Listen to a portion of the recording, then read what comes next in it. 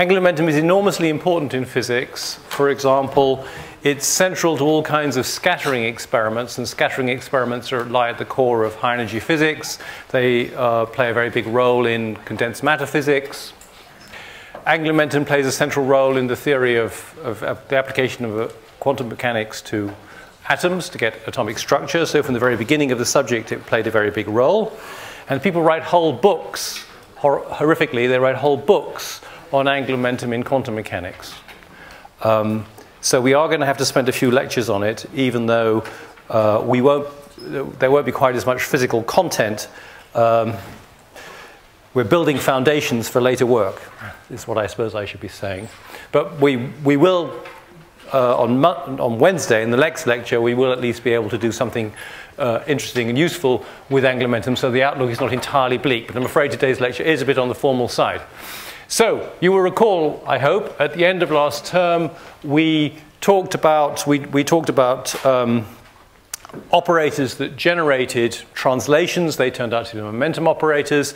And we uh, concluded that there must be uh, operators that effect rotations. So, uh, so there must be a unitary operator, u of alpha, which generates a state like the state you've already got, that generates a state that's the same as the system you've already got, except uh, rotated uh, by an angle mod alpha around the unit vector in the direction of alpha.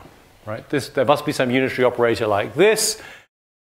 This is a unitary operator depending on a continuous parameter, right? You can either, you, you can shrink the angle of your rotation down to nothing continuously. It's in that class of continuous, of unitary operators.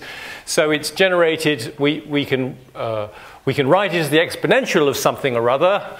By putting an i in there, this thing becomes the Hermitian operator, these j's. So, and because there, are because there are three components of this vector alpha, which describes the rotation that you're planning, there must be three uh, of these operators that generate these rotations, and we're calling them, of course, Jx, Jy, and Jz. I claimed, I said that they are the angular momentum operators, but we haven't really done a great deal. We didn't do a great deal at that time to justify this claim. Uh, okay, so uh, we have those three operators. They're the generators of rotations, respectively around the x-axis, the y-axis, and the z-axis. Out of them, because they're Hermitian operators, we can construct another operator called j squared as the sum of the squares of the operators. Um, and we have a set of four operators, and we showed by considering uh, what happens when you make rotations around different axes, uh, we demonstrated that these operators must have the commutation relations that j squared commutes with every with all of them, with all of jx, jy, and jz, and, but these operators do not strangely commute with each other. They have the commutation relations that jx, comma jy is i, jz, and similar things, which can be uh, encapsulated in this way, where epsilon ijk is the object that keeps changing its sign, and is zero if any two of its subscripts uh, are identical. So what we want to do now, so, so that sort of showed the existence of these things. What we have to do in the next section is find out more about these operators and the eigenstates of these operators. Uh, we need to justify the claim that these operators really are the angular momentum operators. We need to find, crucially, uh, well, it will turn out that the orientation of something like an electron um, well, indeed, the orientation of any quantum system uh, is encoded in the amplitudes to find the possible results, the, the, possible eigenvalues when you make a measurement of jx, jy, or jz. You will, there will be possible answers. Be a, you, you will get a, you'll get a number which is belongs to the spectrum of that, and the amplitude for that event strangely encodes the orientation of the object, right? We need to understand about that. So what we want to know now really is what is the spectrum of these operators? You want to know what are the possible results of measuring j squared or jx squared or jz squared or whatever, right? So this is, this is what the next spectrum is, is about. It's about the spectrum of j squared et al., right? These operators. So um, since the, J, the Jx, Jy, and Jz don't commute with each other, there isn't a complete set of mutual eigenkets of Jx, Jy, and Jz. Um, but there is a complete mutual set of eigenkets because of that commutation relation, because j squared commutes with all of its subordinates.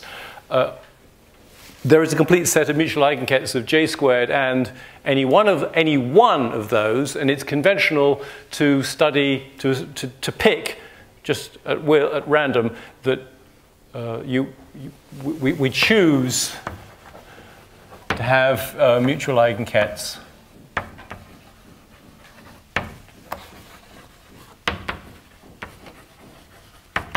of j squared and jz. So it's just a convention that we choose jz out of the three, the three things, connected to the fact that z is the, is the singular axis is the, is the special axis in systems of spherical polar coordinates, all right? So in spherical polar coordinates, x and y have pretty much the same role in life, but z-axis is, is special. And that's why we choose this one. Okay, so that's what we're going to do. So we're going to say, look, there must be some eigenkets. We're going to label them by beta m. This, this label is going to tell us how the thing responds to this operator.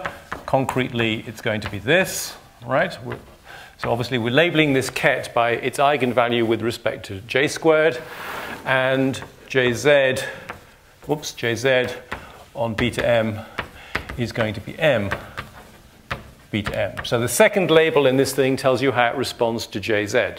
And this is by definition uh, a member of the complete set of mutual eigenkets of this operator and this operator, which the mathematicians have promised us exists. Okay. Now we introduce some ladder operators. We're going to follow a line of reasoning that's very similar to how we got the eigenvalues of the Hamiltonian of a simple harmonic oscillator.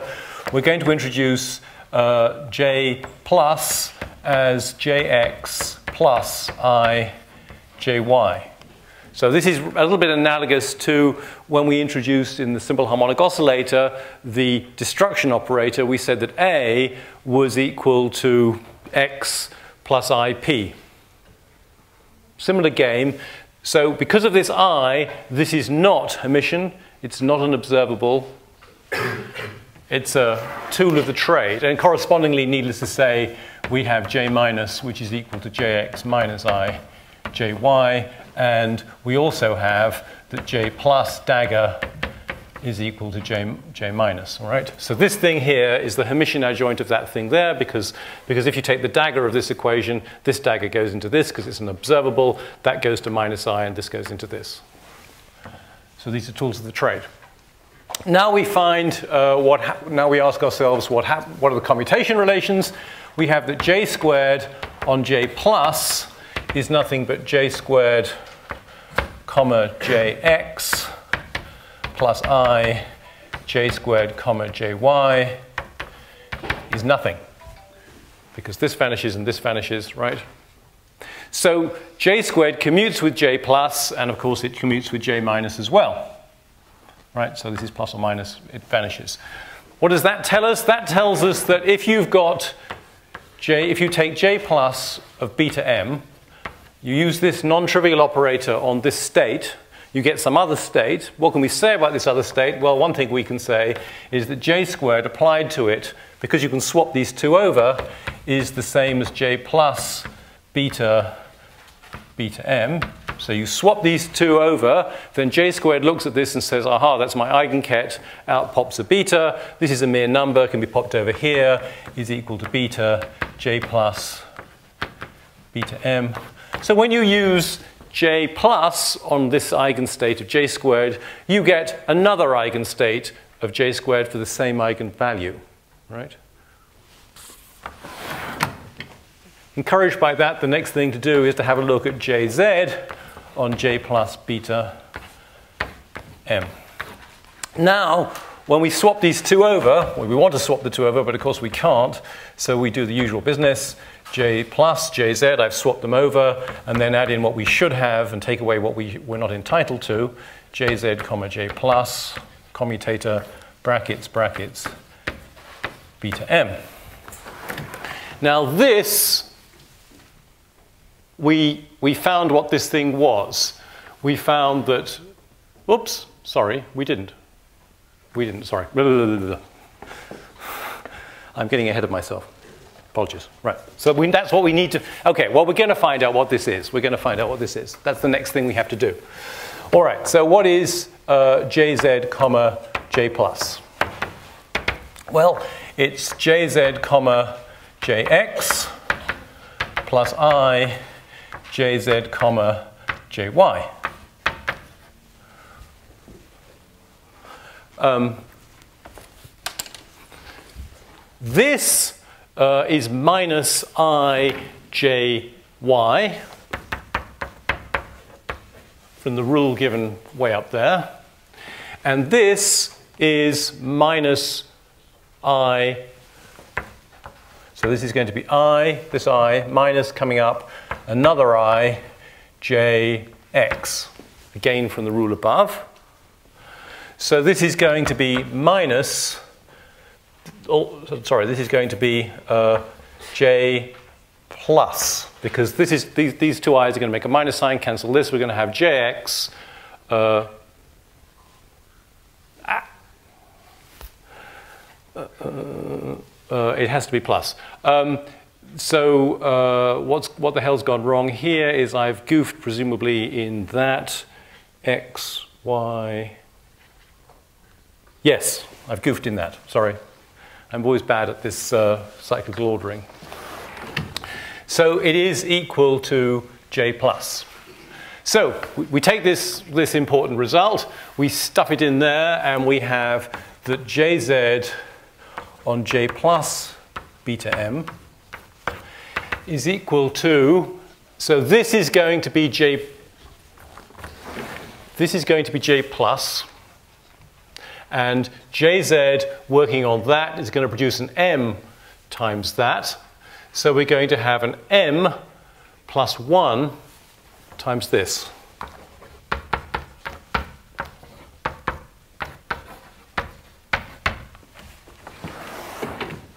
So what does that show? That shows that when you apply j plus to this object, you get a new eigenket of this operator one which has this for an eigenvalue. So what, let's write that down. It says that j plus on beta m is equal to m plus 1, sorry, is equal to some amount of, which we will call alpha plus, the state beta and m plus 1. Okay? So the point is that what goes in here uh, is the eigenvalue of this thing with respect to jz.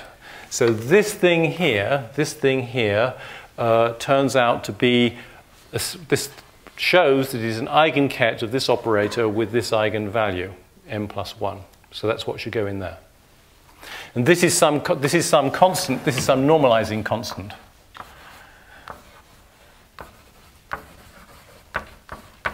So what have we achieved? When we applied J plus to this state Jm, we've made a new state with the same total amount of angular momentum, the same response to J squared, but the amount of this parallel to the z-axis has increased. So we have reoriented our system, right? We have here a spinning, the spinning top, well, okay, some angular momentum along here, and we've moved it a bit towards the z-axis. That's what J plus does.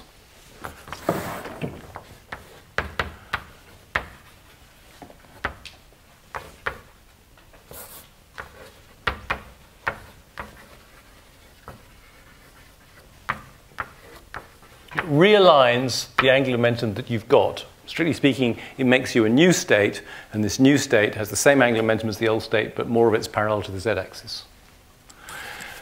Okay, we could repeat all this stuff. I recommend that after the lecture you do repeat all this stuff using J minus, and you will find that J minus on beta m uh, is going to equal some amount, not to be determined, not, not known yet, of beta m minus 1. It does the reverse trick. It moves it away from the z-axis, or if you like, towards the minus z-axis. So showing this is, is, is precise repeat of what was done up here, except every plus sign gets turned into a minus sign. Okay. Now, we have that uh, the expectation value um,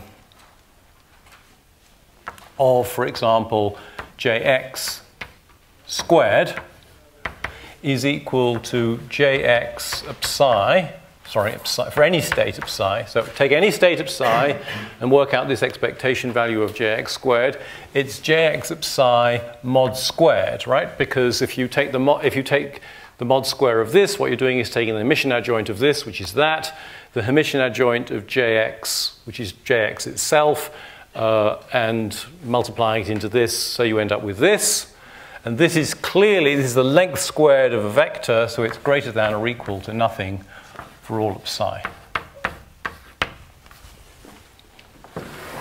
So let's ask ourselves about jm j squared, jm. That's clearly equal to beta, because j squared onto, sorry, m, beta m, beta m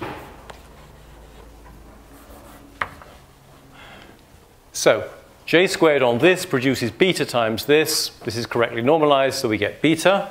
But this can also be looked at as uh, beta m jx squared, beta m, so it's equal to this, uh, plus beta m. Jy squared, plus beta m. Jz squared, but this, this last one here, is clearly m squared, because j, one of these j's looks at this and produces an m times beta m, and the other one then looks at that and produces another m times beta m, uh, and we end up with just m squared. So what have we got? We've got that beta is equal to, uh, we'll, what should we call this? We'll call this A, and we'll call this B is equal to A plus B plus m squared, where these numbers are greater than or equal to naught. In other words, we've concluded that beta is greater than or equal to m squared. So there's a problem. We've got an operator j plus, which can make us a new state with m increased by 1, which has but, but, but has, but this new state has the same value of beta. So apparently we can make states with bigger and bigger m for the same beta. And that we've just shown mathematically that that's absurd. Physically it's absurd because I'm saying that uh, I've got a fixed amount of angular momentum and J plus just moves it towards the z-axis. Well, eventually it'll have it parallel to the z-axis and it won't be able to, it won't be able to increase m anymore. So what truncates this, it, something, something has to, has to give, and what, what, it's just like the harmonic oscillator, what gives is that eventually, so, so, so series of states bigger M truncated at beta m max for maximum value of m such that, how does this happen? It happens because when we use J plus on this state, we get exactly nothing.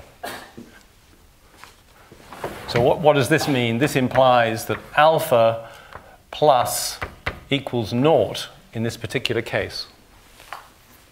That's the only way we can be stopped from making states of bigger and bigger m, and it's clear we have to be stopped. So we are stopped in this way.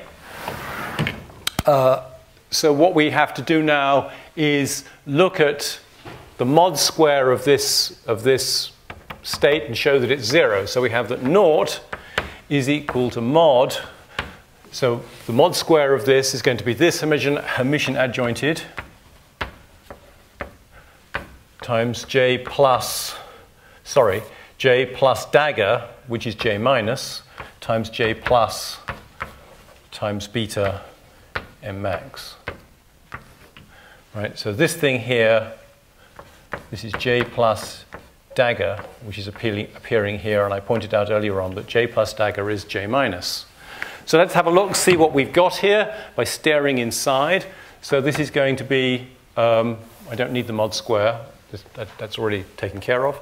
So this is beta m max jx minus i jy jx plus i jy, close brackets, beta m max. So we multiply this stuff out.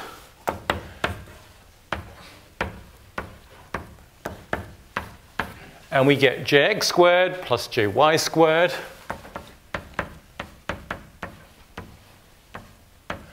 Um, and then we get, we have a minus i jyx, the plus i jxy, so we have plus i commutator jx comma jy.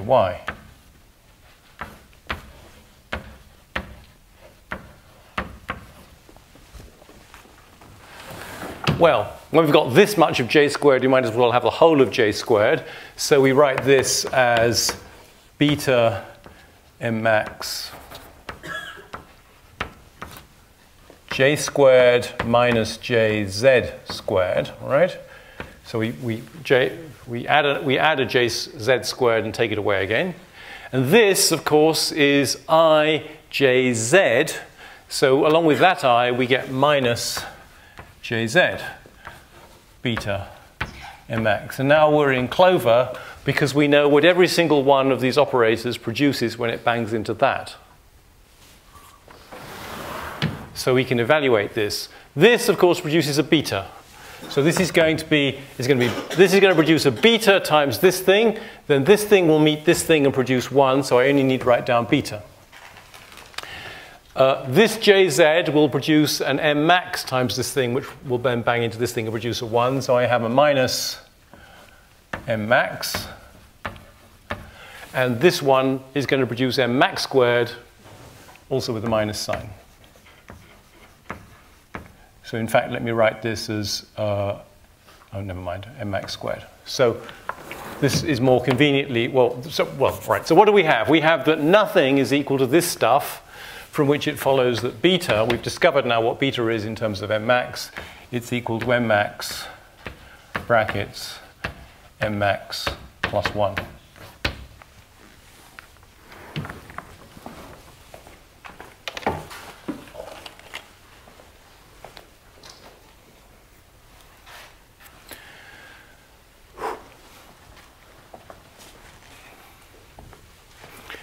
So if we apply um, J minus to beta m, I claimed that this was alpha minus beta m minus 1.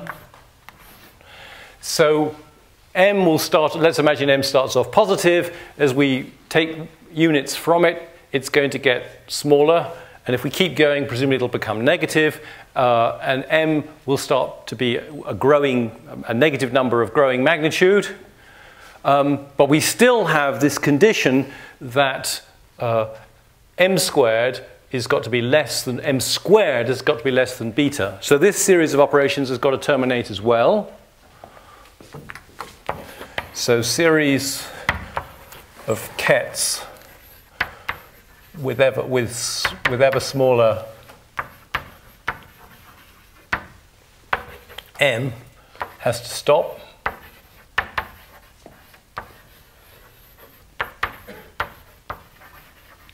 So there must be a minimum value of m, which we, we imagine will be negative.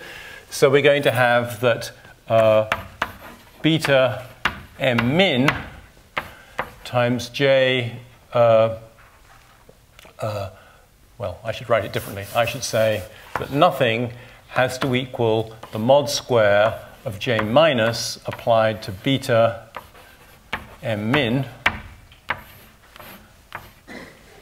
And when we expand that out, we'll, there'll be other things happen here. And let me, so in other words, nothing is going to be beta M min J plus J minus beta m min. That's awfully similar to what we had here, where we had a j minus j plus. So you can see that it's going to produce the same stuff, except that the sign of the commutator is going to be different. Otherwise, everything will be the same. So this is going to be nothing, is going to be beta m min uh, j squared minus jz squared plus jz.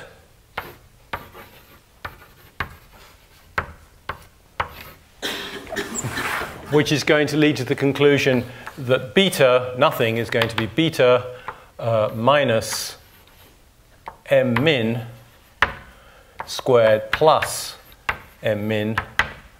Uh, in other words, uh, beta is also equal to m min m min minus 1. So we have a relationship here between beta and the largest value that m can take, and between beta and the smallest value that m can take.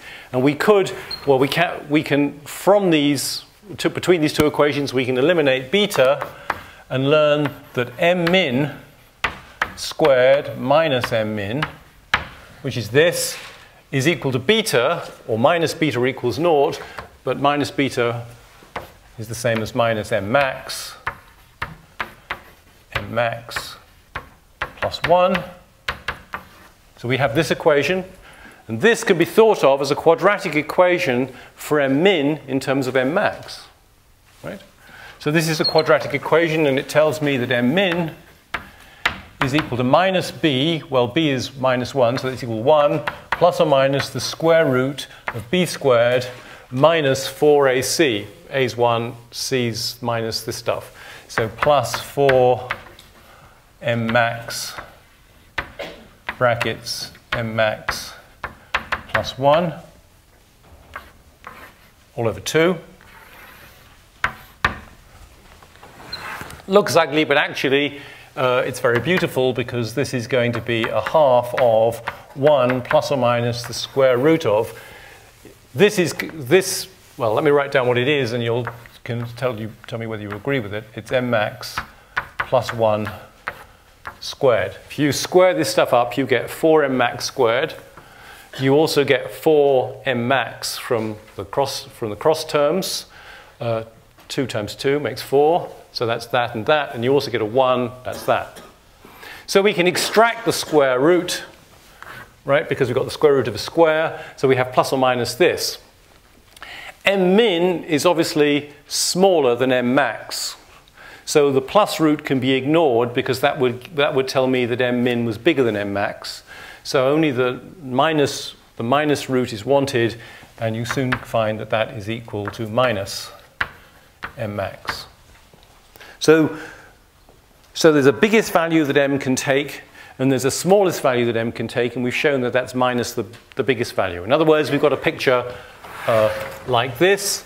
We have a biggest value here, then we have a next value, then we have a next value, then we have a next value, and suppose that this is, this is the end, then zero lies, so this is a plot with m going up here. So here would be zero, say, uh, and uh, in this case, this would be a half, this would be three halves, this would be minus a half, and this would be minus three halves. Or it might work out like this, that we'd start, but the key thing, okay, uh, is we could start, we could start slightly higher up, uh, and then we would have this one, and this one, and this one, and this one. So if we started at 2, we could have 1, nothing, minus 1, minus 2. This is, this, these are the possibilities. But the key thing is that I know that in an integer number of steps, here three steps, I can go from the biggest value to the smallest value. Here there are four steps, one, two, three, four. So the key thing is that twice m max is an, is an integer.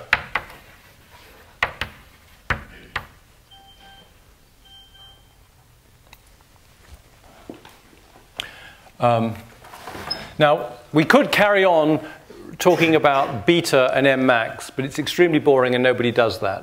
What they do is they use a new notation.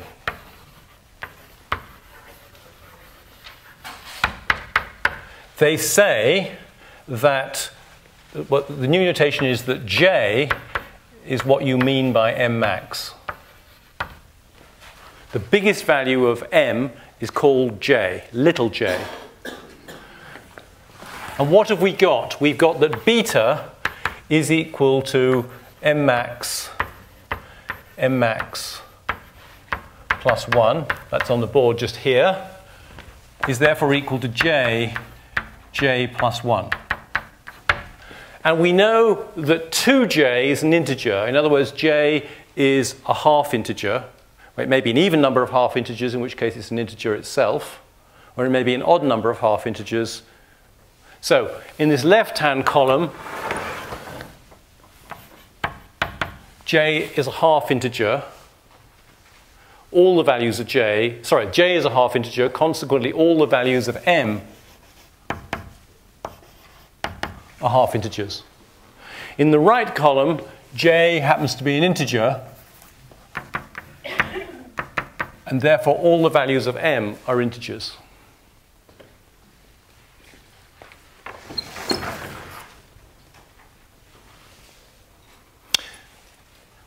Therefore, this beta number is sometimes an integer. So if j is an integer, this uh, is an integer. For example, if j, a possibility is that j comes out being naught, in which case beta is naught, or j might come out being 1, in which case beta would be 2, or j might come out being uh, 2, in which case beta would come out being 6. We have a sort of funny selection of integers. But worse than that, when beta is, sorry, when, when j is a half integer, the values of beta are really quite weird. So we don't use beta as a label. So we, uh, we relabel beta m to jm. Instead of using as the label in here that tells you how this state responds to j squared, instead of using the actual eigenvalue, you use this, this number, which is either an integer or a half integer, from which you can work out this eigenvalue, because this eigenvalue is j, j plus 1. That is to say, we have that j squared on jm is equal to j, j plus 1, jm. And we have that jz on jm is equal to m of jm. This is the new notation universally used. So we only, we've changed notation only because we've discovered that the, number the numbers beta are themselves rather unpleasant and don't make for handy labels, on, but they are related through this equation to something that's very simple, which will be an integer or a half integer, and moreover, tells us immediately what the largest value of m is that you were allowed to have. So, for, so we have, um, if j equals, equals 2, there are five states. There is 2 comma 2, 2 comma 1, 2 comma nothing, 2 comma minus 1, and 2 comma minus 2. Now what does that mean? What statement is being made physically? It's being said that if my pen has two units of angular momentum, well it has j equals 2, which means, as I've said, it has, strictly speaking, j squared gives you, has an eigenvalue of 6. Right? But if it, we call that two units of angular momentum, it has five possible orientations. Right? This one, uh, this one, this one, this one, this one, and this one. Only five. This is what they called space quantization when Stern, Stern and Gerlach discovered this experimentally. I think it's a terrible, terrible term, right? It's not. Uh, I wouldn't call it, I think it's, no, I think it's a very bad idea to call it space quantization, but I just tell you historically that's what they called it. But this is the, this is the bizarre conclusion that we have a discrete set of orientations, anyway, being possible for a pen with that amount of angular momentum. Um, if j is a half, then what do we have? We have a half and a half. uh, and a half and minus a half, and that's it. Only two states. So that's why we've been talking about electrons and things, two, two objects with angular momentum, total with spin a half, half of a unit of spin angular momentum like electrons, protons, positrons, etc., uh, as the archetypal two-state system because there are, there are only two possible orientations. Now, this is very misleading, right? We, but I, have already given health warnings on this, but this, the naive interpretation is that your spin a half particle, your spin a half gyro, has two orientations, this one and this one. And nothing in between allowed. Okay. So that is a grossly oversimplified picture which leads to misunderstandings, but it it's, it's gives us a bit of orientation, and people often do think in those terms. In the three halves case, we would have three halves, three halves, uh, 3 halves, 1 half, 3 halves, minus 1 half, and 3 halves, minus 3 halves. We would have four possible orientations. Uh, we'd have this, this, this, and this, never pointing horizontally, etc., etc., etc. Okay.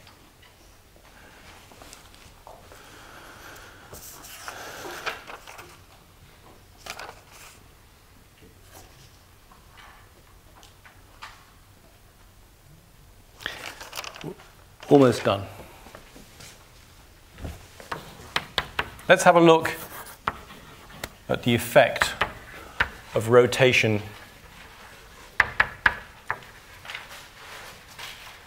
around the z-axis. Okay, so um, psi goes to psi primed, uh, which is u of alpha of psi. So any, the, the, these angular momentum operators came in as the things you put in an exponential in order to generate a rotation, the unitary matrix that makes you a new system, which is the old system rotated. Uh, so we want to see what we get now. So let's see what happens when we rotate uh, a state of well-defined one of these eigenstates here, right? So uh, let's do E to the minus, if uh, so if we go about the z-axis, then alpha only has a component in the z direction, and this becomes, and it has a magnitude phi, so this becomes e to the minus i, phi is the rotation angle, jz, and let's use that on one of these jm states.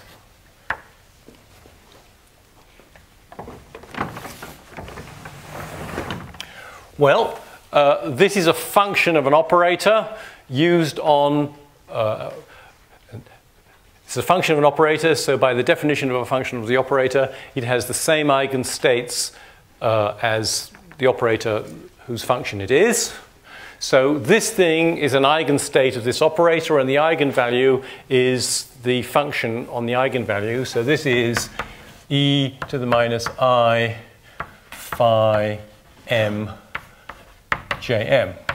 So one of these states of, of one of these eigenstates here, when you, make, when you rotate it using the, this rotation operator, produces you the same state multiplied by this phase factor. Okay, so if we rotate through 2 pi, if we rotate the thing completely around, so if we put phi to 2 pi, we are looking at, what are we going to call this? We're going to call this psi primed, say, right? psi primed is going to be e to the minus 2 pi i m.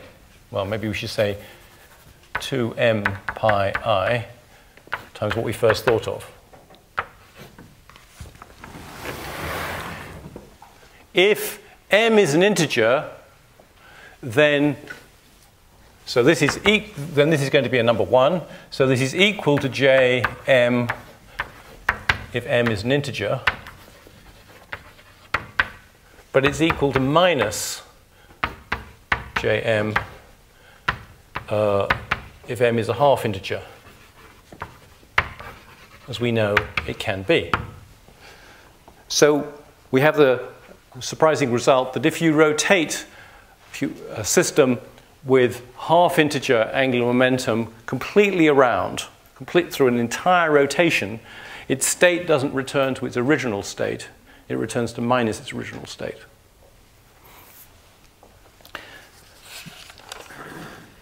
And this seems strange to us um, because we don't have any we don't have any concrete experience. We have no, we have no experience of this kind of thing for the following reason that um, particles which have, even though, okay, particles which have half integer j, well, particles are described by fields. Uh, particles that have half integer j are described by fields whose whose value never becomes, this is a result of quantum field theory, whose value never becomes large compared to the quantum fluctuations in the field, the quantum uncertainty in the field. So, so the values of these fields never become significant, and we have, they, these fields never enter classical physics. So the Dirac field, whose excitations are electrons and positrons, are, is not something that's part of classical physics. It's a part of the vacuum, just the same as the electromagnetic field or the gravitational field, but it's never excited at a, at a macroscopic level, so it doesn't enter classical physics. So we have no experience as classical beings within classical physics of the fields associated with these half integer values of m, and therefore we're unaware of this fact that if you, if you turn the thing completely around, it changes its sign. And the fields we do have experience of, the electromagnetic field and the gravitational field, belong to uh, integer values of m. The electromagnetic field has m, well, has j rather equal to 1, uh, and the gravitational field has j equal to 2. Uh, and therefore, they, these fields don't manifest this, this, this strange uh, behavior. Well, I think that is the right place to stop, even though it's a little early, um, and we will look at the uh, rotating, rotating molecules as a physical application on Wednesday.